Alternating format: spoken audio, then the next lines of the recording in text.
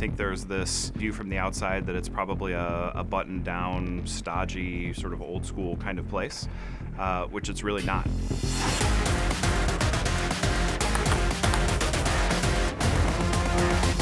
QR&A is a group of data scientists, data engineers, and business analytic engineers, and our goal is to work with our business partners to develop analytic solutions using data to help bring efficiencies to Allstate.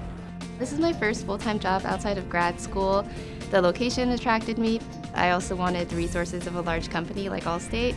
I did not know that insurance companies did data science. I thought of that as something tech companies did, um, not necessarily insurance companies. For a Fortune 100 company that you can come in and, and contribute to some of the most important projects right out, that's somewhat rare, and I think we do that all the time. So I think that's pretty cool. We're using new technologies and techniques.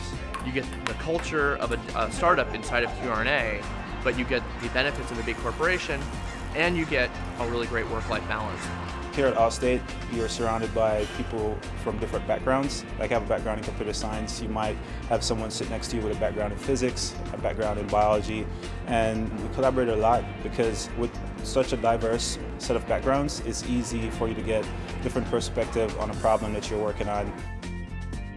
Our job doesn't really get old. We have new data coming in all the time, lots of really unique problems, and have the tools to solve those problems. I've discovered that I have learned even more than I thought I was going to about both insurance and data science and programming and statistics and all kinds of things that I did not even realize I was going to be working with. It's not so much that we're hiring for a skill or a coding language, it's really more of a mindset that is interested in continuing to develop and learn new things and, and new ways to attack problems through analytics.